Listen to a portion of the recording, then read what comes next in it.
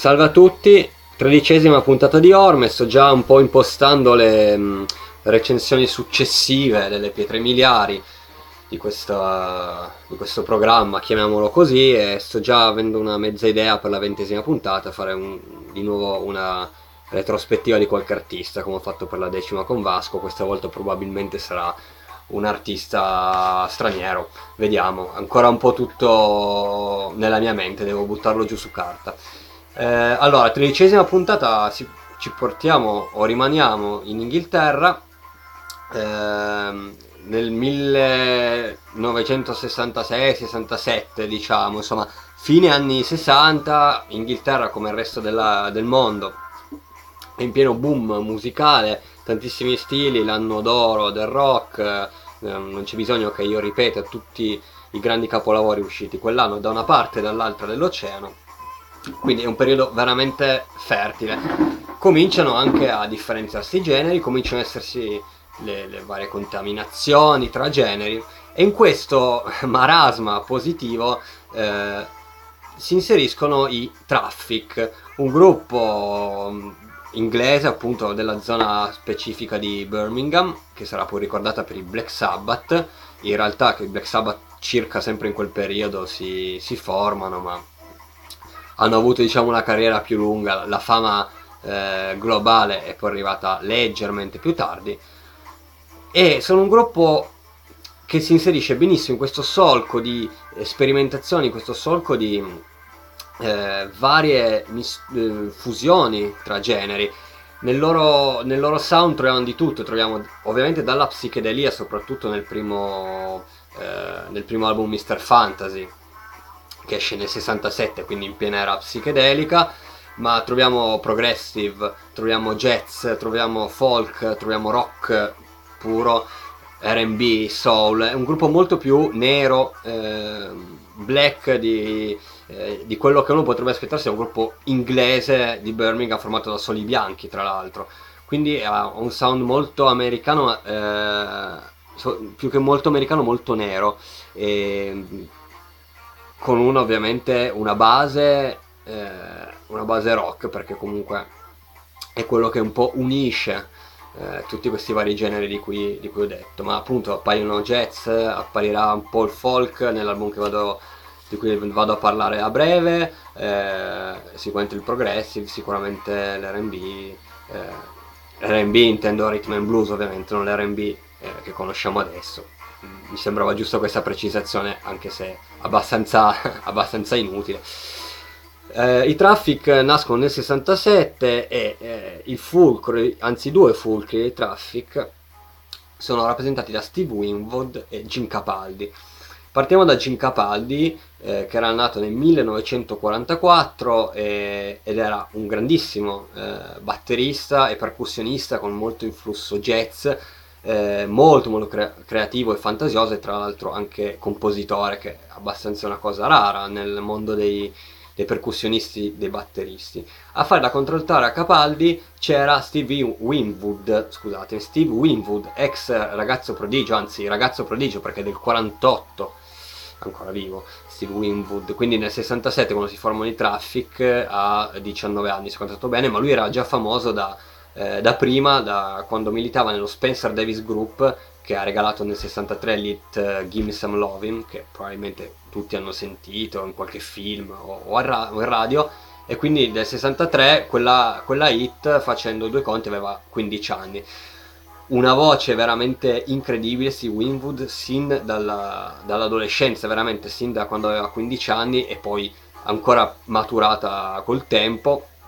una voce molto nera, eh, ma al tempo stesso eh, pulita, nel senso che sappiamo che i neri hanno una voce molto bella, ma eh, a volte eh, roca, quando non sporca addirittura, che è, è una bellissima eh, combinazione per dare un grande effetto. Winwood aveva voce molto pulita ma molto potente, è veramente una voce prodigiosa, poi ovviamente suonava anche, ovviamente no, eh, però ve lo dico, suonava anche tastiere e poi chitarra e basso, ma soprattutto voce e tastiere dove um, soprattutto la voce dove principalmente eh, operava. Gli altri due tre, Traffic, di cui uno dei due non sarà presente nell'album che recensisco, ma eh, registrai i primi 3-4 album se non ricordo male. Allora, uno è Chris Wood, eh, anche lui del 1944, al flauto, al sax, il flauto molto importante di Traffic, da tutto quel... Ehm, eh, diciamo quel substrato folk e sax invece eh, va direttamente a catapultarsi nella musica nera e poi Dave Mason, lui non ci sarà nell'album John Barley con Mazda che vado a recensire eh, che è un chitarrista e anche seconda voce che però sarà presente soprattutto nel primo album capolavoro Mr. Fantasy e poi andrà a collaborare con altri grandi artisti, Jimi Hendrix e altri. Ehm, allora, nel 67 esce Mr. Fantasy, il loro primo album che mm, non si vede granché, è assolutamente eh, debitore della psichedelia infatti le canzoni sono molto legate a quel mondo, a quelle sonorità, ai primi Pink Floyd eh, in parte. Ed è un, grande, un grandissimo album, un grande capolavoro eh, dei, dei, Traffic. Eh, loro si sciolgono dopo qualche album, nel 68-69, poi nel 70 eh, nel 70 c'è un progetto per un album solista di, di Winwood che però eh, mano a mano lui chiede la collaborazione prima di Capaldi, poi rientra Wood, sono questi tre in questo album, eh, Winwood, Capaldi e Wood, appunto Mason non c'è. Eh, chiede la collaborazione prima di Capaldi, poi di Wood, gira che ti rigira, alla fine si riformano i traffic e quindi può essere eh, considerato un album della reunion che eh, esce nel 1970, questa è la copertina, eh, completamente diversa da una copertina che già dalla copertina qui in Mr. Fantasy eh, se si vede, beh, c'era il riflesso, comunque ve l'ho fatta vedere prima, si nota che ci, mh, mm, già si capisce che ci sarà un, un, uh, un'atmosfera psichedelica. Questo cosa ci fa pensare? Ci fa pensare molto più un'atmosfera magari folk. E, in effetti um, in questo album che dura 34 minuti e 28 secondi, fonte Wikipedia, oltre alle solite eh, abbandoniamo la psichedelia e oltre alle solite appunto eh, venature jazz, folk, eh, jazz, soul, R&B e progressive troviamo molto, eh, soprattutto in qualche pezzo, delle, delle, sonorità folk. In effetti il folk c'era eh, c'era ancora in periodo eh, folk revival, i Fairport Convention, i Pentangle e ovviamente i Jetro Tal che possiamo quasi mettere, anche se molto più hard rock, però eh, possiamo mettere in, quel, eh, in, quelle sonorità, comunque il folk non si può negare che, che sia presente negli album di Jethro Tull. E anche i, i, Traffic riescono ovviamente a modo loro, a, con le loro sonorità, a, guardate che belli, Winwood quello in mezzo aveva 22 anni, se sei 70, 48, sì 22 anni, ancora un, un ragazzino praticamente, riescono i Traffic a, a, um, con il loro stile a inserire queste sonorità folk. Eh, ovviamente c'è appunto il jazz e il progressive che era un genere all'epoca eh, all'epoca lanciatissimo brevemente il, allora il um, disco originale consta di 3 uh, di 6 canzoni. Sì 6 canzoni. Il, il primo lato il lato A eh, presenta Glad come prima, un'apertura strumentale molto bella, eh, scritta da Winwood, poi Freedom Rider che è quella che stiamo ascoltando, che forse è uno dei due capolavori del, del disco, del disco stavo dicendo, insieme a John Barley con Die, scritta da Winwood Capaldi, Winwood entra in tutte le, le composizioni, eh, ed Empty Page di Winwood Capaldi sempre, poi nella... Mm, eh, diciamo eh, riedizione, rimasterizzazione, che è quella che ovviamente ho comprato, eh, furono aggiunte alcune canzoni. Nel, dopo Empty Page fu aggiunta una breve composizione di un minuto e mezzo, quindi un interludio quasi. I just, I just, want, to, uh, I just want You to Know di Winwood Capaldi e poi eh, il lato B che eh, inizia con Stranger to Himself che addirittura col riff iniziale ci porta eh, negli stati del sud degli, degli USA eh,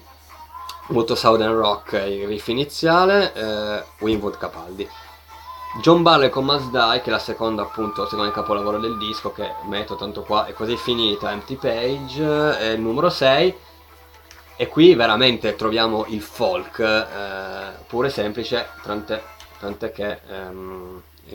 un po' lentino il computer, tant'è che questa è una canzone eh, della tradizione folk inglese, eh, che è stata riarrangiata da Winwood, quindi è proprio eh, il folk non solo è presente, ma addirittura è nato come canzone folk intesa folklore. Eh, infatti Barleycorn è una personificazione del folklore anglosassone, della birra e del whisky, che derivano entrambi dal, dall'orzo, infatti Barley vuol dire orzo. Quindi questa scr non scritta da Winwood, ma riarrangiata da Winwood. E poi abbiamo mm, Every Mother's Son, una bellissima ballata di Winwood Capaldi. Sono stati poi aggiunti ancora nella rimasterizzazione Sitting, Here Thinking of My Love, eh, anche quella abbastanza, no beh, 3 minuti e mezzo di Weewood Capaldi. Poi c'è un pezzo che è il Backstage Introduction, che era ehm, l'inizio di un live che poi non è mai uscito, in cui vengono presentati semplicemente il, il gruppo e poi sono state aggiunte ancora Who Knows What Tomorrow May Bring, che è scritta da non so chi, e poi una versione live, e poi una versione live sempre di, di Glad, sono stati registrati, leggo qui, proprio brutalmente. Eh, Record Fillmore Haste, New York City, un concerto New York, 18-19 novembre 1970. Sentite il flauto, il flauto di Chris Wood, che... Ehm, insomma ci, ci richiama atmosfere molto folk e niente i, traf- i Traffic hanno ancora fatto qualche album che sinceramente non, non conosco poi Wingwood ha fatto una carriera solista e questo secondo me è un album invecchiato un po' meglio di Mr. Fantasy perché Mr. Fantasy eh, per quanto sia un capolavoro dell'epoca risente ancora molto molto della psichedelia questo è, è molto più ascoltabile più gradevole eh, anche un album da macchina, che per me non è dispregiativo, quegli album che metti di sottofondo mentre guidi. Bene, eh, questi erano i Traffic, John Barley con Mazdai, caposaldo di, dei Traffic, ma anche di quell'epoca, di quel, delle sonorità di quell'epoca, che risentivano un po' di questi influssi vari, sia dalla musica nera che dalla musica folk bianca. Eh, ci rivediamo, eh, insomma, prossima puntata, la quattordicesima. Ciao ciao!